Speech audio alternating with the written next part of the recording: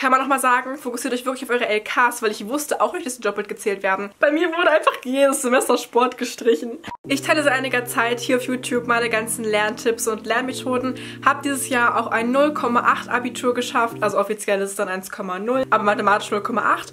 Und heute möchte ich euch mal meine ganzen Noten zeigen, weil mich das einige gefragt haben, aber eben auch, weil ich meine ganzen Lernstrategien immer hier auf YouTube geteilt habe und heute mal zeigen möchte, was da rausgekommen ist. Ich werde euch wirklich alle Noten zeigen, die ich jemals in den Qualifikationsphasen und auch über Abitur in den Prüfungen bekommen habe und zudem auch noch meine ganz anderen Sachen vorlesen, wie die Sprachen, die Niveaus, die ich in den Sprachen jetzt habe und andere Bemerkungen, also andere Engagements in der Schule. Ich freue mich mega, dass du heute dabei bist. Vergiss nicht, meinen Kanal zu abonnieren für weitere Videos dieser Art und fangen wir erstmal direkt an. Ich habe heute nämlich zwei mega coole Sachen hier. Das ist zum einen mein Zeugnis, was hier ist, zum anderen aber auch mein Abi-Buch, wo ich dann einen Steckbrief ausgefüllt habe, da so Schüler-Rankings drin waren und Zitate, Bilder und so weiter. Das werde ich euch auch nochmal in einem anderen Video zeigen. Also Abonniert auf jeden Fall, um dieses Video dann auch zu sehen. Das ist nämlich wirklich witzig. Jetzt kümmern wir uns aber erstmal um das Abi-Zeugnis. Ich kann das jetzt nicht so ganz in die Kamera halten, weil da ja die Schule, Name, Adresse und sowas alles draufsteht.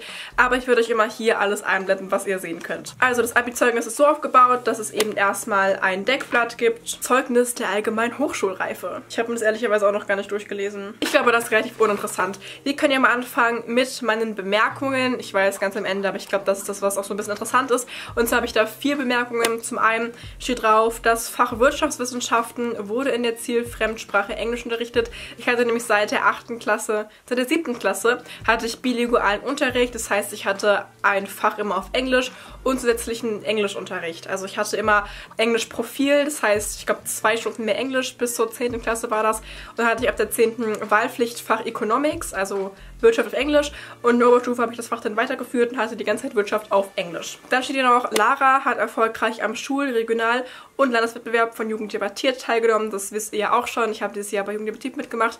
War eine richtig coole Erfahrung. Ich bereue es nicht, hätte es gerne noch mal ein Jahr länger gemacht, aber jetzt bin ich ja nicht mehr in der Schule. Dann, Lara hat sich im Rahmen des Projektes Schule ohne Rassismus, Schule mit Courage engagiert. Ich war Leiterin des Schule ohne Rassismus Teams der Schule für zwei Jahre. Das heißt, wir haben da immer so Projekte gemacht zur Sensibilisierung zu verschiedenen Themen. Es ging primär einfach immer um Rassismus und andere Arten der Diskriminierung. Da haben wir halt Workshops gegeben in den kleineren, unteren Klassen. Hat eigentlich auch immer Spaß gemacht und fand ich auch immer gut, das zu machen. Und als letztes steht hier noch, zudem hat sie in den achten Klassen einen Workshop zum Thema Medienkompetenz durchgeführt. Das war auch so eine Geschichte. Und zwar hat die Schulleitung mitbekommen, dass ich YouTube mache, was obvious ist. Also das weiß, glaube ich, jeder auf meiner Schule. Und die haben mich dann angesprochen und mich gefragt, ob ich vielleicht mal einen Medienproduktionsworkshop machen kann in den achten Klassen dann eben. Und da habe ich ein bisschen was vorbereitet, PowerPoint, ähm, Aufgaben und so und habe dann, ich glaube es war letztes Jahr oder vorletztes Jahr, vorletztes Jahr, nee, letztes Jahr war das, da habe ich dann einfach für einen Tag so einen Workshop geleitet, gegeben. Hat mir auch sehr viel Spaß gemacht. Dann steht hier zum Glück, Lara Emily hat die Abiturprüfung bestanden und damit die Berechtigung zum Studium an einer Hochschule in der Bundesrepublik Deutschland erworben. Yay, das heißt, ich kann mich jetzt bei der Uni anmelden. Das mache ich jetzt auch bald, schnellstmöglich. Und was ich auch noch ganz interessant fand, war, dass die Fremdsprachenbelegung außerdem auch noch das Niveau angegeben hatte. Also ich habe hier Englisch belegt, dann steht hier Jahrgangsstufe von 3. Klasse bis zur 12. Das stimmt. Und das heißt, dementsprechend weisen sie mir ein Level von B2 C1 nach. Man musste da jetzt eigentlich keinen Sprachtest wirklich machen. Also ich glaube, es liegt ein bisschen so daran, ich habe halt Leistungskurs Englisch gehabt und ich hatte halt 15 Punkte. Aber ich glaube, das haben die da nicht mit einberechnet. Ähm, aber ich kann sagen, ich habe auf jeden Fall wirklich ein C1-Level, das stimmt schon, weil ich habe letztens auch das Cambridge-Zertifikat gemacht auf C1-Niveau und habe das auch bestanden. Also ich glaube, das stimmt schon so. Und in Spanisch ähm, wurde mir ein B2-Level jetzt hier nachgewiesen. Könnte auch auf jeden Fall hinhauen. Also ich habe auch die spanische Abiturprüfung mündlich gemacht und habe da auch 15 Punkte bekommen. Aber ob ich jetzt wirklich B2 habe oder doch eher B1, ich weiß es nicht. Öffnen wir das Ganze mal und kommen wir zu meinen Noten.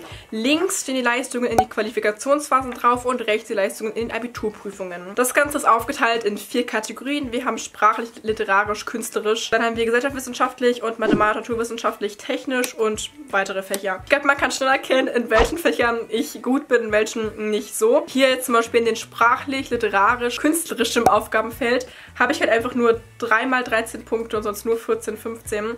Ähm, ich kann es euch ja mal vorlesen. Und zwar hatte ich Deutsch, da hatte ich 13, 13, 13, 14. Vielleicht nochmal ganz kurz zur Erinnerung, ich blende nochmal hier unten die Notentabelle ein. 15 Punkte ist eine 1 plus, 14 eine 1 und 13 eine 1 minus. Aber was mich halt aufregt, ist, dass ich eigentlich finde, ich hätte besser sein können in Deutsch. Aber egal, egal. In Englisch, mein Leistungskurs hatte ich 15, 15, 15, 15. In Musik 14, 14, 15, 15. Ich lese gerade übrigens die Qualifikationsphasen erstes, zweites, drittes, viertes Halbjahr so vor. Und in Spanisch hatte ich auch 15, 15, 15, 15. Also man merkt, sprachlich, das liegt mir auf jeden Fall.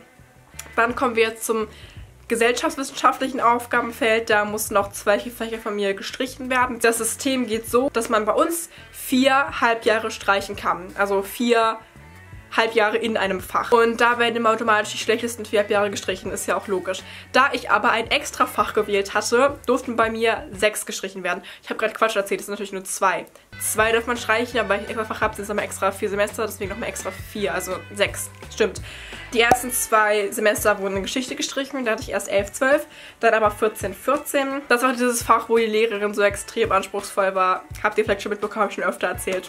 Naja. In politische Bildung, also in Politik, war mein zweiter Leistungskurs, hatte ich 15, 15, 15, 15, worauf ich sehr stolz bin. Ich hätte das nicht gedacht, weil ich mir auch anfangs gar nicht sicher war, ob ich wirklich PB als Leistungskurs wählen sollte.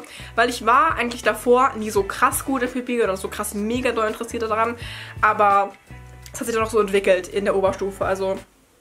Leute, es kann sich bei euch auf jeden Fall auch noch entwickeln. Für mich war sogar die einzige im ersten Halbjahr, die 15 Punkte hatte. Was krass ist, weil ich weiß auch nicht, also irgendwie ich würde mich jetzt gar nicht mal so als beste Person einschätzen in unserem Kurs. Aber naja, wie ihr wisst, viele Dinge spielen in die Noten halt mit rein. Dann haben wir Wirtschaftswissenschaft, also bei mir halt Economics. Ich hatte es ja auf Englisch und hatte da auch 15, 15, 15, 15. Da hatten wir, finde ich, aber auch eigentlich immer echt faire Tests. Es war schon ein cooles Fach, doch, es war schon ein cooles Fach. Dann kommen wir zu dem mathematischen, naturwissenschaftlichen, technischen Aufgabenfeld, was ich nicht gerne mag. Ich hatte da auch nur Bio und Mathe zum Glück. Ich hätte noch vielleicht Chemie und Physik dazu gewählt, aber nein, Leute. Ich mache nur das, was ich muss in Naturwissenschaften. Bei Biologie hatte ich 13, 13, 14, 13. Wobei es mich auch mega aufregt, weil hätte mir die Lehrerin in der Mitarbeit in Q4 einen Punkt mehr gegeben, hätte ich auch 14 gehabt auf dem Zeugnis. Aber egal. Und in Mathe bin ich auch sehr stolz. In Mathe hatte ich 14, 15, 13, 13. Ah, wir kommen noch gleich zu den Abiturprüfungen. Ja, und dann die weiteren Fächer, da hatte ich meinen Seminarkurs. Das heißt, der Kurs, in dem ich auch meine Seminararbeit geschrieben habe. Der Kurs hieß bei mir Recht, Gerechtigkeit und Gleichberechtigung und ich habe da als Seminararbeit das Thema gewählt, inwiefern Reichtum gerecht ist, beziehungsweise inwiefern man Reichtum einschränken sollte und könnte. Und da hatte ich auch jedes Semester 15 Punkte. Und in meiner Seminararbeit oder meiner Verteidigung hatte ich übrigens auch 15 Punkte. Ich glaube, in Q3 die Note war sogar die Seminararbeit und in Q4 die Verteidigung oder so. Weil ich erinnere mich nicht daran, dass wir noch irgendwelche Tests oder so da geschrieben haben oder Vorträge hatten. Ich bin mir nicht mehr ganz sicher. Mitarbeit vielleicht noch, ja. Und Sport. Bei mir wurde einfach jedes Semester Sport gestrichen. Also Sport war bei mir auch nicht mal so schlecht. Ne? Ich hatte 11, 13, 13, 13. Von meinen Abiturprüfungen habe ich euch ja auch schon erzählt. Ich habe da mehrere Videos zugemacht. Und die Ergebnisse freuen mich natürlich mega. Mein erstes Abi-Fach, mein Leistungskursfach war Englisch. Schriftlich habe ich 15 Punkte bekommen, dann Politik, zweites Abiturfach war auch schriftlich und auch mal Leistungskurs habe ich auch 15 Punkte bekommen. Dann Mathematik, mein drittes Abi-Fach hatte ich also auch schriftlich, war aber mein Grundkurs. Da habe ich 11 bekommen. Ich bin sehr stolz auf die 11 Punkte, weil ich dachte, ich hätte weniger. Also Mathe ist echt nicht so meine Stärke. Ähm, ich bin mit 11 deswegen sehr, sehr happy. Und in Spanisch, meinem vierten Fach, also mündlich, auch Grundkurs, habe ich 15 Punkte bekommen. Das ergibt, jetzt kommt die Berechnung. Punktsumme aus den jeweils vier Halbjahreskursen der beiden Leistungskursfächer in doppelter Wertung. Das heißt also meine LKs in doppelter Wertung. 240 Punkte.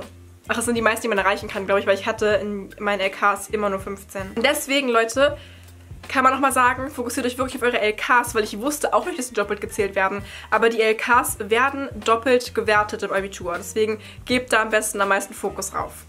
Dann Punktsumme aus 30 Halbjahreskursen der Grundkursfächer, einschließlich der vier Halbjahreskurse des dritten und vierten Abiturprüfungsfaches in einfacher Wertung. Ja, ist ja klar. Was steht hier? Sofern durch den Unterricht in einer fremdsprachlichen Sachfach die Belegverpflichtung in einer Fremdsprache auf Grundkursniveau erfüllt wird, sind 26 Halbjahreskurse einzubringen. Ah, okay, ich verstehe es. Aber das ist doch irgendwie Quatsch, weil dann müsst ihr doch weniger Kurse einbringen, oder? Egal. Da habe ich dann 427 Punkte geschafft. Das heißt also, insgesamt sind das 667 Punkte. Stimmt das? Hatte ich so viel am Anfang?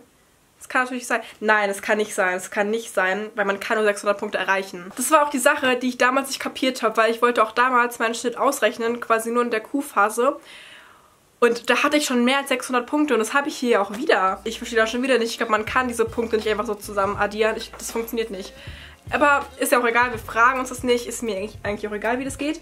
Auf jeden Fall Punktsumme der Abiturprüfung in fünffacher Wertung. 280. Ich glaube, man konnte 300 erreichen, oder? Hier mal 5 sind 20. Ja, okay, gut. Man musste mindestens 300 Punkte haben, um das Abi zu bestehen kann maximal 900 Punkte erreichen und ich habe 860 erreicht. Damit steht hier offiziell 1,0. Man braucht nämlich 823 für 1,0. Da ich aber mehr habe, bin ich schon unter 1,0 und mathematisch gesehen ist das ein Schnitt von 0,8. Ich habe letztens schon in meiner Reaktion auf meine Abi-Noten den Schnitt vorgerechnet, wie ich das gerechnet habe unter dem Video haben noch einige andere Leute kommentiert, wie sie den Schnitt ausgerechnet haben und die richtige Formel dafür. Und die Formeln zeigen mir auch alle einen Schnitt von 0,8 an. Wie gesagt, habe ich alle Lernstrategien, alle Lernmethoden hier auf YouTube geteilt. Also falls euch interessiert, wie ich das hier gemacht habe, dann guckt gerne vorbei. Ich habe alles hier öffentlich mit euch geteilt, kostenlos. Das war mein ganzes Zeugnis. Ich hoffe, dass es euch vielleicht ein bisschen geholfen hat oder euch vielleicht ein bisschen mehr zeigen konnte, was es wichtig ist zu achten im Abitur und ähm, euch gezeigt hat, wie so ein Abi-Zeugnis aufgebaut ist, damit ihr das für eure Oberstufe auch nutzen könnt. Schreibt mir doch gerne in die Kommentare, was ihr an dem Zeugnis am überraschendsten fandet und vergesst nicht, den Kanal zu abonnieren. Wie gesagt, bald kriegt ihr auch noch mein Abi-Buch zu sehen. Ihr kriegt es nicht, aber ihr kriegt es zu sehen. Es wird locker auch nochmal voll witzig. Also vergesst nicht zu abonnieren und dann hoffentlich bis ganz bald. Vielen, vielen lieben Dank fürs Zugucken.